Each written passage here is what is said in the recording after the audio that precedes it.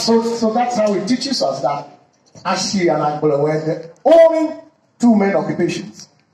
And Ashi means trading, and then Agbala means farming or agriculture. So it says if you say no to farming or agriculture, you say no to trading, then of course you will never enjoy the luxuries of this world. Agodibubu refers to a torn and unwanted clothes that people have thrown away. So you go and pick those. Today, let's ask ourselves sincerely, are we wearing agodibubu? Thank you very much. We are. Because we, we, we, we borrow money on daily basis, on yearly basis. Simply because we did not follow what the tradition teaches us.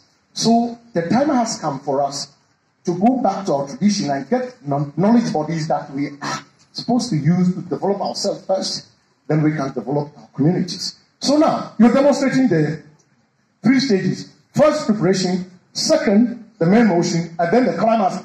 When he does the climax, I will explain the climax and that will be it. Let's go.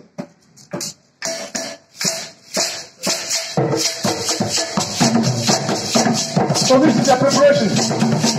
You're preparing in your mind. Prepare your mind. Everything. Your future. Prepare it. And you're listening to the. Number two.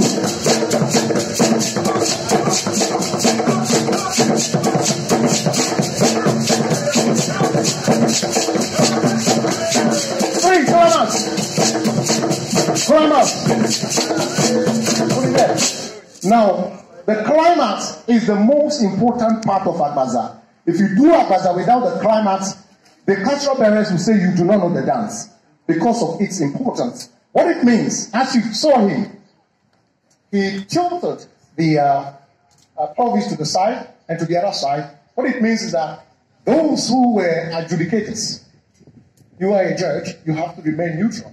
So when you have cases involving two people, make sure you serve them in equal measure.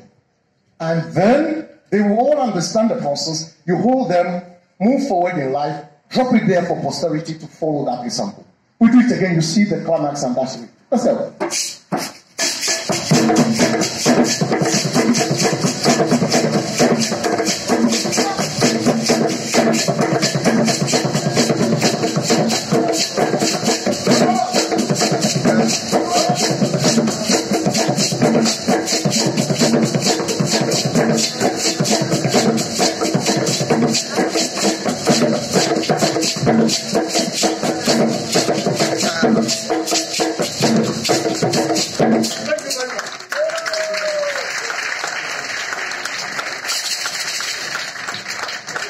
Let's go.